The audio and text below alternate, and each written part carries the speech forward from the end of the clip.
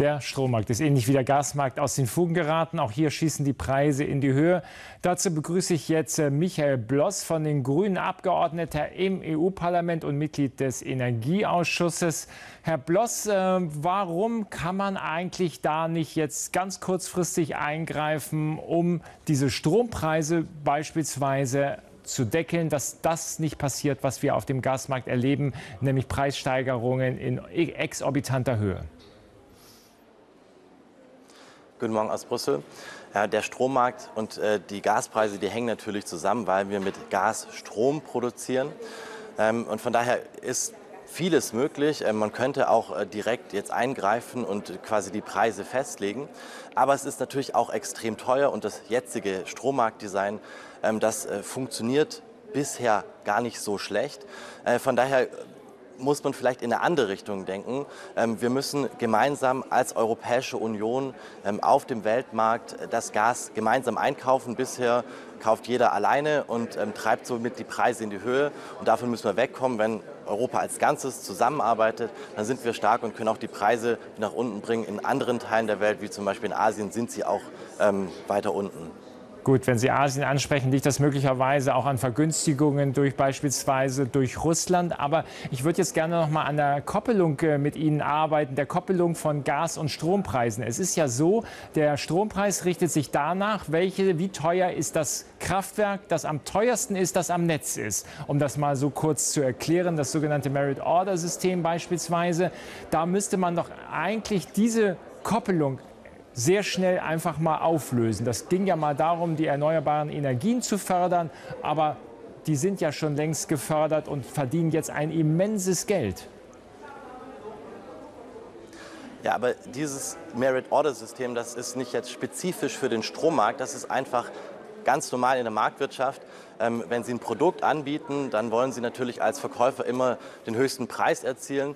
Und ähm, der höchste Preis ist äh, derjenige eben äh, dessen, ähm, der es als am teuersten anbieten muss. Äh, von daher machen die Erneuerbaren jetzt Gewinne. Aber es ist eben gar nicht so einfach, das jetzt zu trennen und dann den Erneuerbaren oder auch anderen zu sagen, ihr müsst jetzt günstiger anbieten. Dann müsste man eben sozusagen diese Idee des Marktes äh, komplett auflösen äh, und die Preise staatlich diktieren. Und dann ist die Frage, wer bezahlt eigentlich ähm, dann die Differenz zwischen den diktierten Preisen und dem, was es dann wirklich auf dem Weltmarkt kostet. Ihr Parteikollege Bundeswirtschaftsminister Habeck hat jetzt mal eine Übergewinnsteuer mit ins Gespräch gebracht für erneuerbare Energien, weil die sind ja auch sozusagen die Gewinner dieser enorm hohen Energiepreise. Wäre das eine Idee, mit der Sie sich auch anfreunden könnten? Also die Übergewinnsteuer ist bestimmt die richtige Lösung. Wir sehen auch, wenn wir nach Europa schauen, dass sie in ganz vielen Ländern schon angewandt wird. Aber ich würde eher die erneuerbaren Energien ausschließen, äh, denn viele der Übergewinne, die fallen nicht bei den Erneuerbaren an, die fallen bei den Fossilen an. Griechenland hat es so gemacht. Und von daher ähm, geht es, glaube ich, es ist besser, als jetzt den Preis zu deckeln, ist zu sagen, wir machen eine Übergewinnsteuer äh, für die Fossilen und verteilen das dann gezielt an äh, die ärmeren Haushalte, die entlastet werden müssen. So ähm, würde man das hinbekommen, dass das, woran es nämlich eigentlich liegt, dass wir zu wenig Erneuerbare haben, dass das nicht ausgebremst wird, ähm, sondern ähm, die riesengroßen Übergewinne, gerade der fossilen, ähm, die sind obszön und ähm, die müssen abgeschöpft werden und an die Ärmeren verteilt werden dass es eine Schieflage an den Energiemärkten gibt, auch möglicherweise am Strommarkt. Das hat beispielsweise die EU-Kommissionspräsidentin Ursula von der Leyen schon im Februar festgestellt oder Anfang März. Warum ist in der Zwischenzeit eigentlich nichts passiert? Warum kommt nicht mehr Druck beispielsweise auch vom Parlament? Ähm, also das Parlament macht Druck ähm, und wir haben schon immer gesagt, ähm, es muss jetzt wirklich darum gehen, dass wir viel schneller in Sofortprogramme kommen, in die Energieeffizienz, in äh, die Dämmung. Es geht ja wirklich darum, am besten den äh, Verbrauch von Strom und von Gas zu senken. Jetzt hat sie, äh, Frau von der Leyen, angekündigt, dass sie an das Strommarktdesign rangehen will, aber es liegen noch keine konkreten Vorschläge auf dem Tisch und das liegt daran, dass das nicht so einfach ist. Wir diskutieren das hier seit letztem Herbst in, auf europäischer Ebene und bisher ist niemand mit einem richtig guten Vorschlag Vorschlag vorbeigekommen, wo man sagt, ja, das, das können wir so implementieren und das funktioniert. Äh, von daher rate ich jetzt auch davon ab, äh, Schnellschüsse zu machen und dann das, äh, den kompletten Markt ähm, zu verändern, sondern wir müssen uns darauf konzentrieren, ähm, woran es eigentlich liegt. Auf der einen Seite, ähm, dass wir als Europäische Union zusammenhalten, gemeinsam einkaufen und auf der anderen Seite, dass diese riesengroßen Übergewinne ähm, endlich besteuert werden und umverteilt werden. Sie haben gerade eben sehr schön beschrieben, der europäische Markt muss zusammenhalten.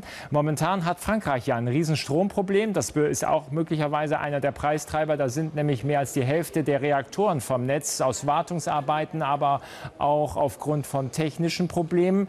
Jetzt wird ja in Deutschland schon seit Monaten darüber gestritten, ob man die drei verbleibenden Meiler, ob man die nicht einfach noch ein bisschen länger laufen lassen könnte. Im Sinne dessen, was Sie gesagt haben, Einheit in Europa, der eine hilft dem anderen, ist das doch eigentlich auch für einen einen Grünen eine Selbstverständlichkeit, dass die drei Atommeiler in Deutschland noch ein bisschen länger laufen? Also für einen Grünen ist es auf gar keinen Fall eine Selbstverständlichkeit. Ähm, die, den Atomausstieg, der muss kommen, da haben wir jetzt Jahre, für gekämpft. Ähm, aber äh, Sie sagen es ja selber, also in Frankreich fallen die Atomkraftwerke aus wegen der Klimakrise. Die sind dort äh, an Flüssen gebaut und da ist kein Wasser mehr drin und dann können sie nicht mehr kühlen. Also von daher ist es ganz klar, wir müssen jetzt in die Erneuerbaren reinkommen und das einzige wirkliche Problem, das haben wir in Bayern, das ist, ähm, weil die CSU es jahrelang verschlafen hat, ähm, den, äh, äh, den Netzausbau äh, zu beschleunigen, dass sie die Leitungen nicht haben von dem Norden, wo der, wie die Windkraft herkommt, äh, nach Bayern und weil sie verhindern, dass in Bayern selbst die Windkraft gebaut wird. Also von daher ist es dort wirklich ein politisch hausgemachtes Problem der CSU, ähm, dass wir jetzt darum bangen, ob es genügend Strom im Winter in Bayern gibt. Das sind Einschätzungen von Michael Bloss, Grünen-Abgeordneter im EU-Parlament. Herzlichen Dank äh, für dieses Gespräch heute Vormittag. Ich danke Ihnen.